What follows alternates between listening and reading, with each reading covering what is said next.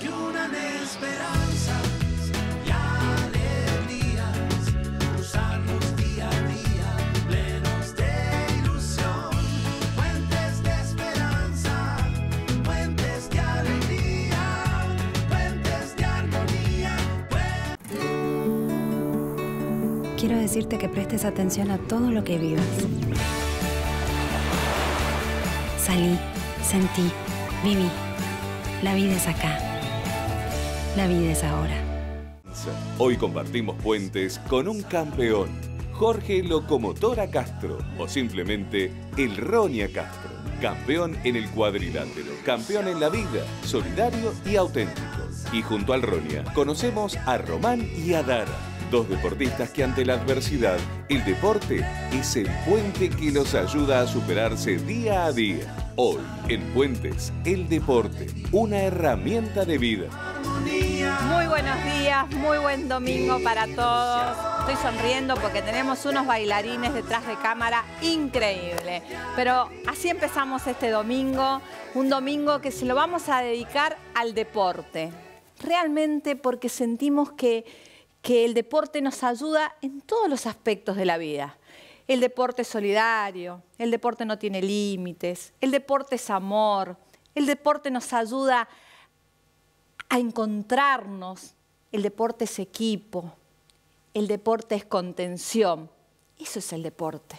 Lo vamos a compartir con alguien que seguramente ustedes todos los conocemos, sobre todo los, los hombres de la casa lo conocen. Bueno, estamos ahí, ¿eh? los conocemos todos, la familia lo conocemos, pero porque no solamente ha sido un campeón en, en él, en lo que él ha hecho en su deporte, también es solidario, es un campeón de la vida y del deporte, y es él. representando Caleta Olivia, Argentina, con un peso de 72.6 kilogramos. Demos la bienvenida al campeón Jorge Locomotora Castro.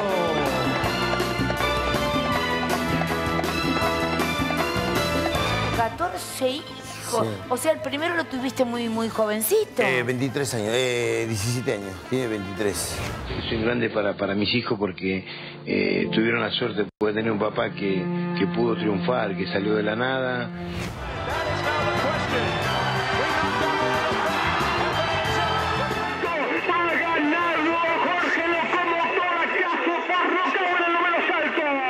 y seguí tranquilo. Y bueno, sabía que podía, ahí podía, crucé la mano y bueno, cayó. Tú eres el campeón y ganaste del hombre que era el campeón. Bueno, al final soy campeón yo y bueno, demostré que tengo lo que tiene un boxeador y bueno, gracias a Dios estoy bien. El hijo de Santa Cruz, Argentina, Locomontora Castro. Fui un ex campeón del mundo y creo que si me buscan en internet me van a conocer como el Roña Castro o como Locomotora Castro. No pongan negro porque si negro me, me doy vuelta solo. Muy buenos días, bienvenido. Un honor tenerte hoy acá y que me acompañes en hacer este programa, Jorge. Gracias Betina por invitarme. Es lindo poder compartir lo que hago y lo que haces vos también, porque es lindo lo que me comentaste fuera de cámara. Y es muy lindo escucharte y es lindo que yo pueda explicarte lo, lo que estoy haciendo. Nosotros nos vamos a un corte Dale. y en un ratito seguimos. Puentes de esperanza. Puentes que unan esperanza. Y ahora sí, seguimos en el deporte, en el amor, en esto tan lindo que, que uno va viendo cada día y en cada lugar que ayuda. Jorge, qué jovencito, ¿en cuándo empezaste a boxear? Empecé a los 14 años, cuando tenía... A los 14 años en la primera pelea. Y, pero ¿y ¿siempre te gustó? A ver, No, me gustaba. ¿siempre te gustó pelear o no? Sí, era un peleador callejero. ¿Eras sí. un peleador callejero? sí. Y después el deporte este me decidió eh, hacerme deportista, pero de boxeo. Primero lo agarré como un hobby Sí. y después lo agarré como un deporte. A los 17 años caí acá a Buenos Aires. Jorge, y es muy sacrificada la vida de... Es durísima la, la vida del boxeador. ¿Sí? Es muy dura, sí. Muy dura eh, porque tenés que practicar a la mañana, a la tarde y bueno, tenés que dedicarte al deporte de los puños, a lo que me dediqué yo y pude ser lo que fui. El boxeo es para pegar y no dejarse pegar. a veces te pegan. Tuve peleas durísimas que, bueno, he ganado, pero me han pegado. pero sí, es para prepararse, para estar bien eh, físicamente y poder lograr lo que uno quiere, es- lo, lo y- quiere lograr, ¿no? Y esa es la vida, ¿no? Es la vida La vida es un Sí. golpe bueno que, yo- te- que sirve para o un golpe... Cuando yo quería... eh, ¿Qué te mata? mm, me metí en el boxeo, quería ser campeón argentino y lo logré. Después quería ser campeón sudamericano y lo logré. Quería latinoamericano, lo logré. Después de la Facebook y después toqué el cielo con las manos, toqué porque gané el título del mundo. Eh, el mundo tiene 150 países y, y yo fui uno de, los mejores del mundo. Entonces, Seguro, sin duda, sin duda. es muy lindo, me pone contento, me alegra de lo que fui, porque bueno, en este deporte, eh, como hablamos hace rato, te saca de todo, ¿entendés? Si vos agarrás un deporte, te saca de todo. Hoy en Sí. día esa porquería de la droga está en toda la esquina. Sí. Entonces, si vos eh, te dedicás a un deporte, te puede sacar de, de- de todo. Sí, sin duda. Por eso, Es una oportunidad, ¿no es cierto? por eso, Yo creo que le- una oportunidad de agarrar un deporte y, y que se la tenemos que dar. Yo sé que vos se la das a mucha gente. Sí, ¿eh? sí, yo tengo un gimnasio, tengo todo, y bueno, por eso mismo hay muchos pibes que van a aprender eh, boxeo porque eh, no quieren eh, meterse en cosas malas, ¿entendés? Porque hay mucho, como le dije yo hace rato, la droga está en toda la esquina, pero hay que salir de esa esquina. Yo ahora queremos poner 15 escuelas de boxeo en todos los lugares humildes para que todos los chicos que están en la esquina se puedan meter a mitad de cuadra, que es un gimnasio que te puede sacar de todo. Y si vos agarrás ese gimnasio el día de mañana, puede ser como fui yo, campeón del mundo, campeón argentino, campeón sudamericano, y después puede ser campeón del mundo también. Seguro. Y querido además, lo- Jorge, porque Sí, no. es muy lindo ser querido. Uno puede ser muy exitoso y poder tener mucho- muchos títulos y cosas, pero a vos además te acompaña el cariño, el cariño de la gente. Sí, Eh, sí, yo tengo la suerte que de ser un deportista conocido y que la gente me quiera. Yo fui un deportista y nunca me has, nadie me señala con el dedo. Me señala para bien, mira el roña de lo que hace. Porque el tema de la pandemia el año pasado, nosotros tuvimos 620 personas que le damos de comer. Ahora bajamos, ahora Sí. estamos en 300, 270, Sí. eh, que le seguimos dando de comer a esa gente. Y es lindo poder ayudar. Jorge, lindo ¿te ser- ayudan? ¿Te ayudan a ayudar? Empezamos, eh, nosotros empezó de acá de mi bolsillo. Sí. Y después eh, sí me empezaron a ayudar. Se empezaron a Yo fui un tipo muy solidario, que me, me encanta ayudar a la gente. Yo tuve mucho. Porque yo lo que tengo no me lo voy a llevar al cajón. Seguro. Porque Yo esto, esto tr- trato de repartirlo. Y, Seguro. Y vivir con lo justo. ¿Qué hacen ahí, Jorge? ¿Qué hacen en el gimnasio? Hacemos gimnasia, toda Sí. gimnasia recreativa, hacemos, hacemos el precalentamiento, corremos. ¿Sí? Porque tengo 26 metros por 12 de, f- de- 12 de frente. ¿Sí? Y corremos, hacemos precalentamiento, después hay 26 bolsas colgadas, eh, y después tenemos ring. Y yo soy manoplero, hago manopla, que los pibes me pegan sí, las manos. Y después hago guante con todo. y los pibes se ponen contentos, hago ese guante con el roña, ¿viste? Y bueno, y es lindo. es ¿y cómo venimos las mujeres ahí en el gimnasio? Eh, muchas, muchas mujeres. ¿Sí? muchas, sí, sí, muchas mujeres que van a aprender, que eh, no, hay edad, no hay edad ahí. Van gente de 73 años Sí. que van a aprender y lo hacen muy bien. Eh, también no, no saltan como saltan los pibes, pero corren, eh, caminan y se preparan para estar físicamente bien. Qué bueno, qué bueno. Bueno, yo quiero compartir con vos, vos recién hablabas de que salen a correr y, vamos a compartir juntos una nota de otro invitado a Bueno. nuestro programa que se llama Román y, y que a él lo salvó, por decir salvar, este, pero que lo ayudó en su vida poder correr. ¿Lo vemos?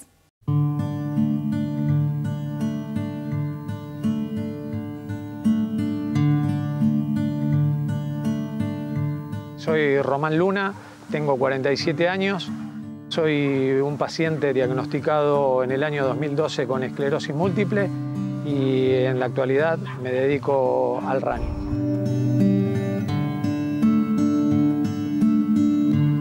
La esclerosis múltiple es una patología muy, muy compleja porque es difícil de diagnosticar. Mi sistema inmunológico desconoce la mielina, que es lo que cubre la neurona, y lo agrede hasta lastimarlo y es como cuando dos cables están pelados. Eso empieza a hacerte disfuncionar todo el cuerpo, de lo que implica el sistema nervioso central, desde la vista, la visión, la parte digestiva, la parte motriz. Para mí fue un antes y un después eh, del diagnóstico. Fue como un volver a empezar.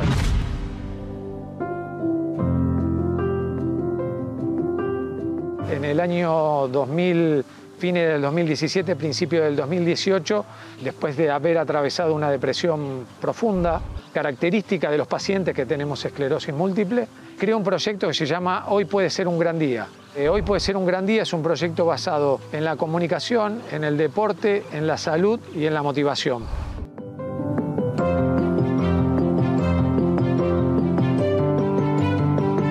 Yo pienso que el deporte a mí me sanó y me sacó de un pozo eh, oscuro del cual estaba metido cuando tuve la depresión. Los proyectos para el 2021 es, es seguir corriendo, seguir entrenando. Tenemos previsto con mi hija Valentina, que me va a acompañar, vamos a correr el cruce, los 100 kilómetros. Así que ese es un gran desafío y va a ser una, un gran placer poder difundir y llevar la bandera de la esclerosis múltiple a, una carrera tan importante a nivel mundial como es, son los 100 kilómetros del cruce. ¿eh?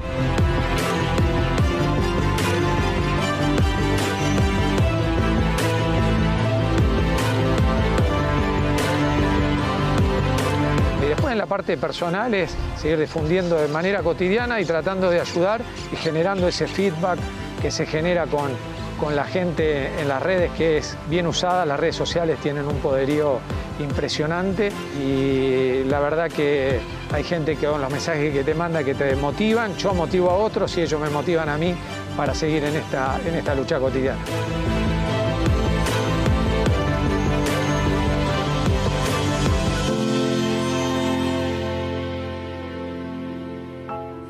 Gracias, Román. Román fue futbolista, es periodista y bueno, y nos quiso, quiso estar hoy presente transmitiéndonos esta, esta- Yo Es- siempre digo que es como un puente de la esperanza, ¿no? Es una gran verdad lo que dijo. Hoy puede ser un gran día. Hoy puede ser un gran día. Me emociona verlo como, como es, como deportista, como eh, saca su, eh, su deporte adelante, porque fue un mar- maratonista. Sí, sin duda. Y hoy en día, de la, de la enfermedad que agarró él, a salir como salió, ahora estoy viendo que quiere correr los 100 kilómetros, lo felicito. Quiere hacer el cruce de los Andes. Es muy, muy bueno. es Sí, muy- increíble. hay tanta gente que lo hace, eh, yo no lo puedo hacer porque yo no soy mar- maratonista, yo soy boxeador. Pero sí es lindo poder escuchar a esos pibes que empiezan con un- una enfermedad, una dificultad, y hoy en día eh, hacen lo que hacen, ¿no? Jorge, ¿cuándo sentiste vos que fue tu gran día? Mi gran día fue cuando sabía que ya eh, de- con el deporte salía adelante. Porque yo, teniendo 17, 17 años, llegué a Buenos Aires y, y acá se concentraba. Pero yo se concentraba de lunes a viernes y el sábado me pagaba un, un avión y me iba como a Rivadavia. Ah, ¿te volvías? Me volvía y el lunes me volvía de nuevo para acá. ¿Y, y quién quedó? ¿Y quién está hoy en Caleta Olivia? ¿Tu mamá? mi- ¿Tu- ¿Tus mi padres? madre, mi madre, no, mi papá y mi, y mi mamá fueron separados. Sí. Yo viví en Catamarca unos años Sí. con mi viejo que la pasé muy mal, ahí donde pasé frío, pasé hambre, pasé todo. Ay, hubiese ido a la Virgencita del Valle. Fui un hombre golpeado por mi madre, por mi padre y bueno, eh, después mi madre me volvió a ver a los tres años a Catamarca y me vio que estábamos muy flaquitos, desnutridos y nos cargó en un colectivo y nos volvió a llevar a Caleta Olivia a los 13 años. Y bueno, yo agradezco a mi vieja. Después me fui a laburar al campo, estuve laburando casi un año dentro del- en el campo Sí. y volví a la ciudad y a los 14, y bueno, empecé a ir a un gimnasio y me dijeron, Roña, ¿querés pelear? A mí me decían buscar Roña. y che, buscar Roña, me decían, ¿querés pelear? Y, y bueno, peleé. Y me pagaron, y yo ilustraba botas, vendía a diario. Y me pagaron una fortuna esa plata. Y, y yo, dije, yo quería pelear todos los, todos los días para que me paguen. Sí. Y bueno, por eso te lo agarré como un, no lo agarré como un deporte, lo agarré como una... eh, La parte económica, como Bueno, una una posibilidad de mejorar de tu vida económica. Y después empecé a ser bueno. Empecé, yo había boxeadores que ya estaban en el gimnasio, ganaban muy bien, y yo a los 3, 4 meses ya los superaba. Ya yo era mejor que ellos. Y bueno, y así fue, gracias a Dios. Yo sé que fui tocado por una varita mágica. Y a eso le metí eh, preparación y, a la y preparación. yo creo que esa varita mágica te la dio tu mamá con el amor que te dio. el día que te fue a buscar a Catamarca. Sí, porque, te vuelvo a repetir, yo era, por mi padre era, mi padre era alcohólico. Sí. Y cuando venía, viste, decía, guacho, que esto, eh, me daba. Entonces, ya, viste, no, y bueno, y agradezco a la vieja que, que nos fue a buscar. Hoy en día está acá en Buenos Aires, porque estaba, está enfermita, nos agarró el COVID, y bueno, gracias a Dios está, Está bien. Está bien, está muy bien. Sin ninguna duda, parte de lo que te ayudó fue tu mamá dando amor. Sí. Y, y yo no sé, yo quiero decir que, que- que no hay gente mala, ¿no? Estábamos, hablábamos con eso con Jorge antes de empezar el programa, que a veces la uno no nace malo, nace con faltas de oportunidad. Por supuesto. Y qué Cuando- importante es poder ayudar a dar esa oportunidad. Darle la oportunidad a la gente. Entonces, Sí. yo, yo trabajo en, lo- en los penales, en las cárceles, y doy charla para los chicos. Algunos le entran por acá y le sale por acá, pero algunos le queda. ¿entendés? Hay boxeadores que han salido de la cárcel, como Mike Tyson, salió dentro de una, Ujú. de una cárcel, y muchos boxeadores. Y acá en la Argentina también. Entonces, a eso, cuando voy a dar charla en las penales, y le explico cómo, se, cómo a mí, gracias a este deporte, eh, me sacó de la calle. Porque yo era un peleador callejero. Y si no agarraba un deporte, seguramente terminaría mal en otro lado. Entonces, hoy en día, eh, soy un personaje, eh, a la gente le gusta lo que hago. Poder ayudar a la gente, darle de comer, eh, darle mercadería, darle alimento no perecedero, le doy de todo. Ayudar a, la- ayudar a los comedores, porque la gente, cuando vos lo ayudas a los comedores, ellos lo, lo- lo disfrutan, lo comen. El fideo lo comen, no lo venden, el arroz la comen, le, le dan todos los chicos. Sí, seguro. Y es lindo darle de comer a los chicos porque cuando yo estoy en el gimnasio y cuando daba la olla, eh, venía un pibe de 14 años y decía, gracias Roña por lo que hace por nosotros. Y, ¿viste? me- y a mí me llenaba. Claro, Sí, sí, sí, sin duda. Y si hubieses tenido que elegir algún otro deporte en tu vida, Eh, yo andaba muy bien. algo que te que, como Yo- tu deporte pendiente, ¿lo tenés? Sí, yo andaba muy bien en el fútbol. Y, Ah, ¿te gusta el fútbol? Y después tuve que elegir el fútbol o el boxeo. Y elegí el boxeo. Y parece que lo elegí bien porque... Te fui fue bárbaro. Sí, sí, fui, fui campeón del mundo, llegué a, a lo máximo y, fue en el- y conozco 27 países. Sí. Gracias, al, gracias al boxeo. ¿eh? Yo anduve por todo el mundo. Por eso yo le digo a la gente, hay que ser solidario, como soy yo y como soy vos, Betina. es lindo poder ayudar a la gente que menos tienen, porque, como le dije, nadie se lleva nada. Nadie se lleva nada. Todo queda acá. Todo que hagas, la verdad. Nos vamos sin nada. Pero ahora nos vamos a ir, vamos a hacer, este, Jorge, un poquito federal y nos vamos a ir a Entre Ríos, a Villa Elisa. Y, y la vamos a conocer a Dara, que hoy también participa en nuestro programa.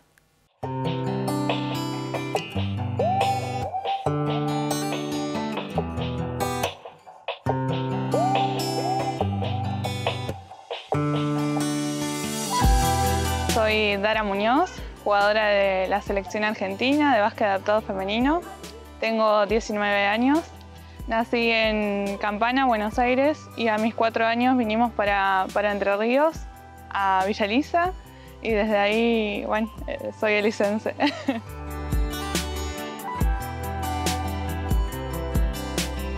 Tengo una parálisis cerebral hepástica, eh, se dio desde nacimiento por falta de oxígeno al momento del parto. Eh, luego de esa falta de oxígeno al momento del parto tuve dos paros cardiorrespiratorios que empeoraron la parálisis y quedaron como quedó como secuela la marcha invertida, que es la forma de caminar que tengo hoy en día. Desde que arranqué a jugar al básquet en silla me enamoré completamente de eso, entonces eh, fue como que no encontré, digamos, otro deporte que me diera lo mismo que me da el básquet. He probado otros deportes, he hecho atletismo adaptado, pero no me provoca lo mismo. Creo que el deporte cuando llegó a mi vida cambió muchísimas cosas, de mi manera de pensar y de tomar decisiones a como yo lo tomo hoy en día el tema de mi discapacidad. En un primer momento yo no hablaba de mi discapacidad, no era algo que no tenía sanado ni superado ni que tampoco conocía. Cuando me convocaron para la selección, eh, no lo podía creer. Sinceramente creí que jamás eh, iba a llegar a, un seleccionado. Eh, en ese momento no me tenía mucha confianza y, y bueno, y se fue dando de a poco, digamos. Y a la vez empecé a tomar eh, todo de otra manera, a mirar distinto. 67 a 19. Estamos en semis. Y va a enfrentar a Estados Unidos. Aprendí un montón de otras chicas, de otras discapacidades también, pero más que nada lo personal fue eso, el cambiar mi, mi punto de, de vista, eh, el decir, bueno, a ver, tenés esto, pero esto no es tan malo como creías. Y se pueden hacer cosas y, y podés eh, cumplir metas. Eh, y eso fue cambiar totalmente mi, mi- mi pensamiento, digamos.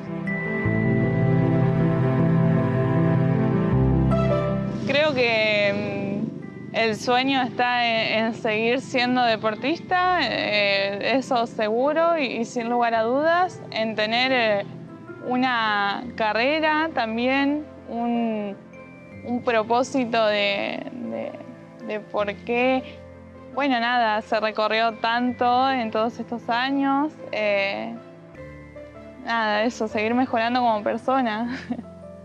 Creo que, que es lo, lo que importa en todo esto.